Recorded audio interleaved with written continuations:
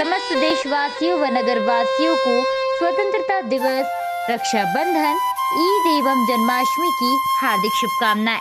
सौजन्य से परमानंद कुशवाहा, अध्यक्ष, नगर परिषद पंधाना, जिला खंडवा।